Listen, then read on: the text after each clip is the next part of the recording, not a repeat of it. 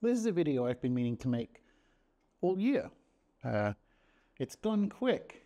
In fact, it's daylight savings morning here in Asuncion in Paraguay, which I did not realize. So I'm up an hour early and figured I guess uh, I guess now is the time to do a video on the return of Oracle systems amongst serious practitioners uh, of magic, of cartomancy, and so on. Now, before we begin, let me just say I love tarot. I'm ride or die tarot. I'm going to be talking mostly about Oracle card systems with some tarot in here, but I want to say at the outset that uh, I'm not Sophie's choicing between my systems here. But there is something going on. There is something going on with the return to respectability and utility and discourse amongst serious practitioners of systems that are or have been previously derided. Now we're going to start off talking about Fortune's Fools, talking about my Lenormand deck, which will not be linked up below because it is out of print. Uh, the, the print run uh, has been completed. Actually, you know what? I will link it up below because if you're interested, you can uh, sign up to be notified if slash when we do a reprint. But obviously, over the last few years, working on something like Fortune's Fools, I have been thinking about what Oracle cards can do that tarot cards can in the right hands, but aren't as good at, right? So if you think about different forms of transport, they're good for different things. You might want a large SUV or a truck of some description if you live in the countryside. That's not great if you live in the middle of an old European city that predates cars. Then you want one of those um, tiny little ridiculous uh, uh, Italian numbers, right? So similarly, when we're talking about the language of cartomancy, some systems are better at other things than um, other systems. In the case of, let's say, uh, Lenormand, right? Not just Lenormand, but kind of anything in the Lenormand world. If you look at what the imagery uh, is and compare it to the tarot, it's quotidian, it's day to day, it's little things. The, I, I, like to joke all the time that it's a very botanical deck. So you've got the tree, you've got the lily, you've got the bouquet. There's all, lots of um, little day to day things. You have a ring, you have a letter. Um, there are just small moments uh, of day to day life, whereas in the tarot, you have the devil, you have the pope, you have a woman pretending to be the pope, which is uh, where that card, the high priestess card, originally comes from. It's very operatic, it's very cosmic, the wheel of fortune, death, and so on. There's a sort of death card, of course, in Lenormand, which is the coffin, but the coffin is is a beautiful individual moment. Uh, it's uh, a widow standing beside the grave of her husband of, of 50 years. When it's death, one of the four horsemen, you're in a much more operatic world. So one of the things that I think Oracle systems, and not all Oracle systems are created equal, let's be clear about that. But one of the things I think Oracle systems can do really, really well is matched to, see, there's the child, um, is matched to just the day to day life, the child, the house, a letter. Uh, there are some astrological components. So in the case of Lenormand, it overlaps with the star or stars, the moon, and the sun, which of course actually makes sense because um, astrology is a cosmic story, um, but it's also a beautiful individual little story. So that's the first thing that I would say decent oracle card systems uh, are good at. The second thing, and I borrow this from Donna Haraway, is responsibility. So picture that word response, ability, ability to respond. When you pick up, I mean, mine comes with a complete book of fortune telling, which I'm in fact very proud of. Uh, and the, the purpose of that book is to allow you to pick up any deck of cards and run with it. But some of the other ones we'll be looking at, uh, and in fact, we can move to it now. This is from Natalia Lee Forti from Hadean Print, St. Cyprian's deck of cards. There's a little white booklet inside of it, but the responsibility comes from Oracle card systems because they've been so derided, and, and some of that derision is frankly sexist. Like these are womanish 19th century concerns. Who is my daughter going to marry? We have the ring card, the man, the, the wife. These are the, the, um, the issues of womanish concern, right? So it's been a bit, you can detect something in the undercurrent of the derision uh, that does not match 2024. Let's put it that way.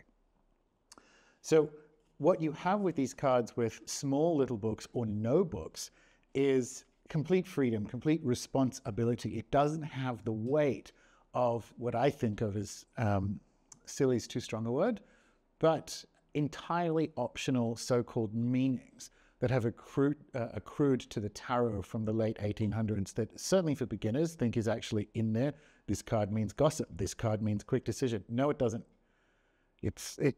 Uh, that's a more complex story than uh, it seems, right? You have no choice. you have no choice when it comes to oracle cards. It is responsibility right out of the tin. So I'm just going to give you a little look through of some of the cards in Natalia's St. Cyprian's deck of cards. And while we do that, I'm going to uh, give you my reason as to why you should care not specifically about these beautiful cards here, but about oracle cards versus tarot uh, in the first place. Like you think, well, I already, I'm already pretty good at tarot. Why would I, why would I jump to another system? Well, first of all, it's not, um, it's not either or. It's not a binary. But secondly, I would say absence makes the heart grow fonder. A necessary gap from anything um, builds a new perspective on a system that can otherwise become stale. So even if you merely holiday in the world of oracles, that itself can boost your uh, tarot capacities. The other thing, something like Lenormand has methods of, or, or, systemic methods of communication between the cards, its versions of crosses, its versions of tableaus and, and so on. And, and the, the, the dual combination of extracting a message out of the cards that whilst they don't um, completely port over to tarot, learning those skills actually builds your capacity to uh, speak between the cards in a tarot system. So the first one, first reason to holiday inside something like uh, Oracle card systems is you get better at tarot and learn a new technique at the same time. The next reason I would say is if you are a bit of an archetypal explorer. And what I mean by that is it's a little bit unfair when dealing with something that's archetypally rich like fortune telling to talk about this stuff as if it's fads and fashions. Now, to some extent it is, but there's something else going on, right? So if you're a little bit interested in why it might be the case that the fortune telling archetype more associated with uh, oracle card systems is closer to the surface, that, that wilder, woollier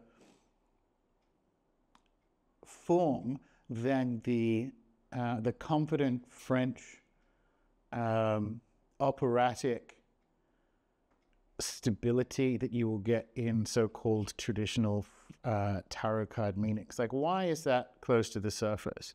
So if you're a little bit of an archetypal explorer, if you are interested in uh, what happens when you tangle with um, archetypes that are close to the surface of culture, then this is another reason to get yourself into Oracle Card Town.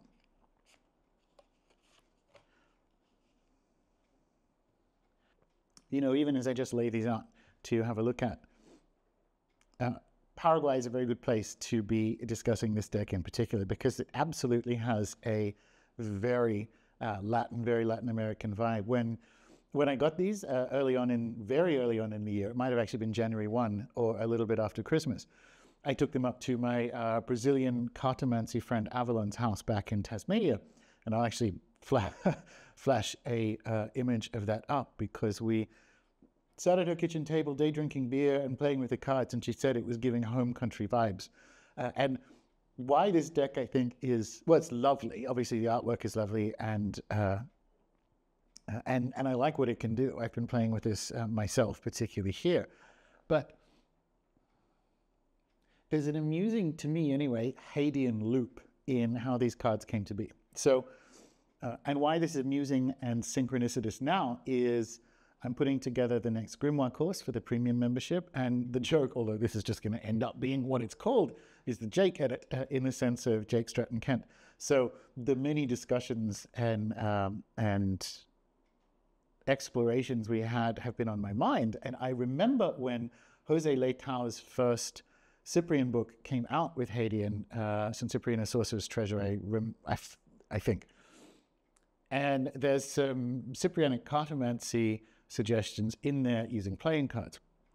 This was absolutely Jake's vibe. We were talking every day at the time. I had a job where I didn't have to work, uh, and Jake was relaxing, having finished Testament of uh, St. Cyprian the Mage. And he, the world lost him for like two and a half weeks of him just playing with this, with this card system that became another Hadean uh, book or booklet, one of Jake's many booklets with Hadean called Cyprianic Cartomancy. And it's that that inspired uh, Natalia's understanding of the system, uh, which I'm going to be using, like these cards are going to be used, and as an example of how Oracle systems can be incorporated with at least Blue Grimoire spirit work. So there's a fun circular Hadean Jake, Latin America, uh, Cyprian angle to uh, sharing these cards with you at this time. But yes, if you're keen, uh, Natalia Aliforti's uh, St. Cyprian deck of cards from Hadean. Uh, I absolutely, like my friend Avalon does, I absolutely vibe with the terroir uh, of this particular deck. Next cab off the rank from my old alma mater, my own uh, publisher, Scarlet Imprint, is Balthazar Black's Divine Gypsy Mother. And uh, this is definitely a deck after my own heart because, I mean, I did my own uh, 19th century fortune telling, uh, telling deck, tied specifically, I would say, to the, um, the spirit of Lenormand herself, who uh, my artist, uh, Colin Alexander, and I, I think, um, go to bat for as the actual tutelary being behind the Lenormand deck. Uh, if you read typical history, they'll say she had nothing to do with it. She lived her whole damn life out loud and built a reputation so strong that people's first thought after her death uh, was to name a system after her. So I think she's involved. And uh, as my friend Kristen said in, in the jungle during an Amazon theater last year, she sounds exactly like the kind of woman who can arrange a, uh, a fortune telling deck after her own death. And that is absolutely right. Balthazar went in a uh, related but also different direction and with, I would say, similar philosophical goals. I don't want to say political, that's not right, uh, which is to explore and celebrate the frankly true origin of uh, cartomancy inside Europe with the gypsies. And I feel like I feel like that word is allowed again now. It's come round and round. We would say traveler, Romani, Rome, and I think we're back at gypsy. Um, it, I certainly mean no offense by it. but it's the same. It is a 36 uh, card deck, and it comes with an incredible book, which I will tell you about in a moment. I don't have it with me because, once again, in Paraguay traveling. Uh, but it, oh no, I'll tell you about it now. So I remember Balthazar Black's writing from uh, back in the, I guess, magic blogging 1.0 days, and it has his same very patient, very uh, precise and, and diligent and comprehensive description of how and why you would use a system like this. So if you're vibing with the, um, the rise of Oracle cards and maybe uh, Natalia's more uh, freewheeling, here are my cards, good luck, don't call me approach. If you're like, oh, do you have something in the middle? uh, I would suggest we go with Divine Gypsy Mother.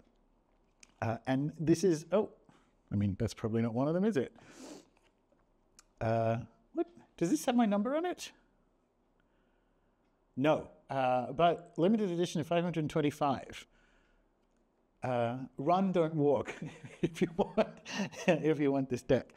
Uh, so what I like here, in and in particular in conjunction with the book, is I have learned where the uh, the gypsy appro- approach, and even uh, because Balthazar Black lives in the Low Countries, uh, even that more almost Northern European uh, approach to a system like this overlaps and doesn't overlap with uh, the Lenormand. And I've learned a lot from it. There's actually uh, there is a triple cross spread in the book, which is genius. Uh, I've I've never seen it. I've never seen it done before, and I I don't. I'm racist against significators, so it's a significator layout.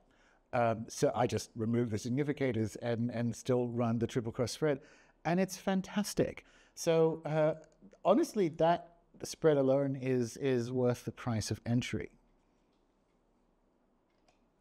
The name of the deck uh, references the, dare I say, the archetype um, that um, Balthazar is celebrating, the the divine gypsy mother, the the um, the countless women that through cards like this and playing cards and whatever they could get uh, in service of the art and in service of swindling and in service of telling fortunes and facing fate and so on. And I really love the name. I really love the uh, I really love the spirit in which this project was brought to the world. And it's a further example of why I, um, I think it's an easy case to make that the fortune telling approach, that archetype, that is in fact archetypally something like the divine gypsy mother, is, uh, is closer to the surface and is beckoning you for your own development and hers to engage. The final one I want to commend to you is in fact a tarot deck um, which I haven't been buying much of of late because I've been in fortune telling Oracle Card Town.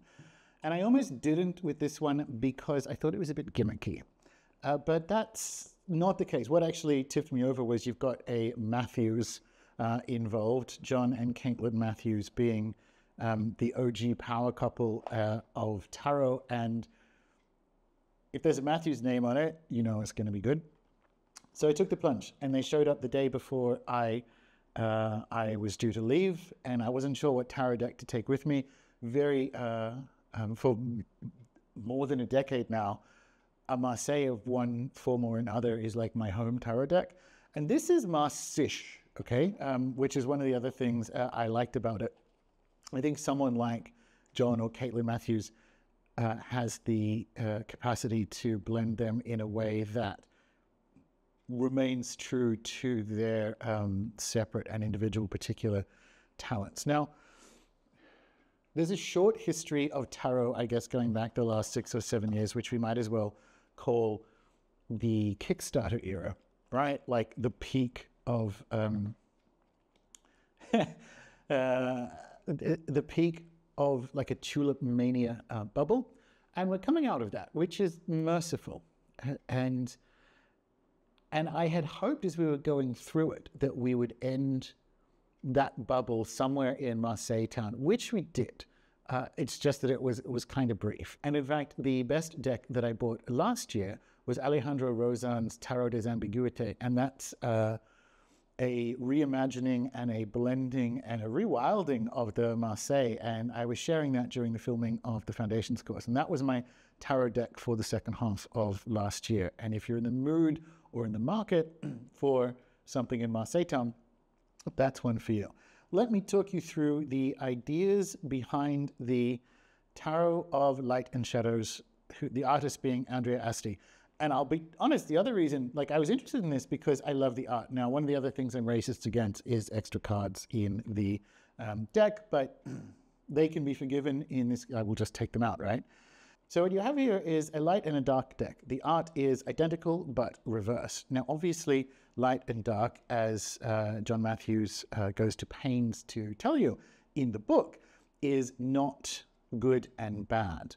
And I've been really enjoying using this deck here in Latin America because, well, two things. Rather than light and dark, what you want to do with the dark deck is, uh, John writes in the book as um, this gives you a different perspective on uh, a particular question. Uh, and I like that because I'm a perspectivist. So it's halfway animism. I'm in the middle of recording an animism series, as many of you know. So I like that description of it. For me, one of the other things that I would commend this deck to people for is shadow work. So uh, I typically ask the question, what am I not seeing about blah? And um, that's when I engage the dark deck. But why it's so good for, well, why the match to Latin America is very pleasing to me is the uh, Latin way of reading cards, and I've had my cards read a couple of times um, here, is to, and I'll just, these are all, these are all in order, so this isn't a reading, but you lay out a series of cards, typically five or six, just intuitively depending on which ones, uh, how many match the question at hand. And then you will either ask follow up questions or clarifying questions, right? And so there might be, oh, I need to know more about this. And if, if the justice card is like, well, who's hidden? No, the hermit card. Well, who's hiding?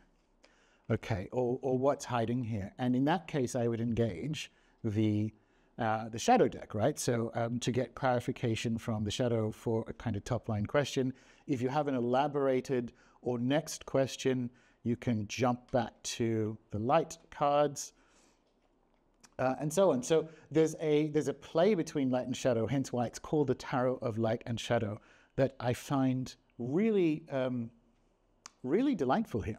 So if you are in the market for uh, a tarot that is a match to this return of oracle cards amongst, I would say, serious practitioners, something like this, which on the outset looks like a gimmick but is actually really good, is actually uh, really, really useful. And you can kind of tell this is tarish rather than tarot because uh, the way it is grappled with, wrestled with, engaged with is more in the world of oracle cards. Now, of course, you could. You have two complete decks here. So, and they go to pains to mention this in the book as well. It's like, listen, you, you bought two tarot decks, so you can just read one of them. You can actually, because I like let's let's be honest, like the the shadow cards are very cool, right? I mean, I love the art in general. I, that was one of the reasons that I um, went in this direction. But the cards are lovely. Uh, so you actually have two completely normal tarot decks you could take with you. But particularly when you are reading for yourself, that extra perspective, uh, one of the unlocks for uh, self readings to get to get outside of uh, the more typical cognitive um, biases that we have is the what am I not seeing question. What am I lying to myself about? Uh, that's the stuff that a, an extra person is very, very useful for. And you have the closest thing you're going to get to an extra person in a double deck combination. So, in the world of, uh, of return of oracle cards for serious practitioners, here is a deck that uh, you also, or double deck, uh, double decker that you also may want to have a look at. So the short history of tarot, I guess over the last five or six years, is a manic horde of frumpy collectors canceling each other and basically playing hyper commercialism on the internet and doing very little actual fortune telling. The longer history of tarot, I think this is a big part of this moment, is also uh, up for re-engagement. And that's by way of a new, uh, remarkable little book from Scarlet Imprint called Two Esoteric Tarots, which, again, traveling, I didn't bring with me, but uh, I made sure to uh, prove that I have indeed read this book and found it really compelling. Like it has been sitting with me uh, this whole trip. I finished it before my uh, filming at Lake Mungo and the filming of the prayer course for premium members. And it's a dialogue with uh, Peter Mark Adams, who, of course, has been on the show uh, several times and is the author of A Game of Saturn. And the premise of the book is the philosophical origins between the Solabusca tarot, or Solabusca, and the Marseille are shared. And those shared philosophical origins are the straight up Platonic religion, simply, uh, amongst in particular the European elite uh, of the Renaissance, that was brought about by the arrival of Gemistos Plethon I won't say more about it uh, than that, uh, except to say that one of the reasons perhaps that it's been sitting in my head is that something Jake and I um, spoke about uh, at length, which obviously is on my mind right now, is the um, what he called the low Platonism, uh, particularly of the Hellenistic and, and, and Greek world, rather than the high Platonism we have here. There's a, a crypto-Platonism that is plainly obvious uh, to me now that I've read this book in the Marseille. Uh, I already knew it from a game of Saturn um, in uh, the Sola Busca.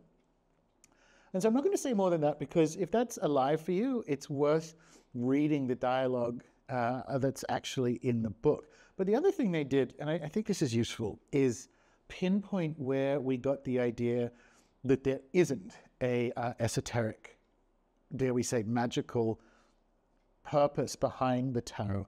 And that's in a 20th century uh, book by some historians of playing cards called A Wicked Deck of Cards. Uh, a Wicked Pack of Cards, sorry. And it's what happens when you get materialists doing history. We know this. We know this is a thing that uh, happens in the history of magic. And it was this general declaration that it was just those 18th century Frenchies who invented uh, the esoteric associations with magic. Now, if that idea of the two esoteric tarots, um, I think you never really prove things with history, but I think making an, uh, a fairly unassailable case that uh, the the tarot and both the Marseille and the Sola Busca, and thus even the humble Smith Waite uh, has uh, earlier esoteric origins. If that's alive to you, grab that book. And I would also suggest you can do um, either or of the following things. Do the tarot course in the premium members area. You get all the courses for 12 bucks a month. So you can grab that one and the foundations and the grimoire course that's coming. And or also read Peter Mark Adams' A Game of Saturn and also, here comes another Matthews, Caitlin Matthews' Untold Tarot, which doesn't delve into the same area historically, but certainly does look at how the cards conveyed uh, Christian virtues, and uh, which is a modification of Platonic ideas anyway. You read all of them together and or do the tarot course, and the case is is pretty good. And that invites you to sit with what even am cards? What's going on here? And I think that haunting, that uh, queering of, of tarot history is part of the arrival, uh, archetypal arrival of the divine gypsy mother, of this being, of this, this uh, fortune telling form that invites us to uh, dance in a, a new and ancient way, uh, to, to rediscover that which should never have been taken from you uh, which is this, uh, this approach to reading cards. And it's that thing which seems to be uh, building and bubbling underneath not just uh, the Oracle card world, but even the tiny fraction of the tarot community that I can take even slightly seriously as a magical practitioner. So something is going on here, and a, a word that we might want to use for it is a rewilding uh, and an uncovery of that um, atavistic, uh, archetypal, uh, free form that I think is is the best match to the conditions that we're about to head through, which is my ulterior motive for putting this video together. We are not heading into slash we are not living in a world of predictable meanings, uh, a world of, of mapping the Smith Waite to the decans and uh, little Hebrew letters and all the rest of it. That's not our world. Um, our world is one known better to the gypsies. Uh, it's it's precarious, it's dangerous, and it requires a more oracular, hence oracle, uh, mode of engagement. And that's being done two ways.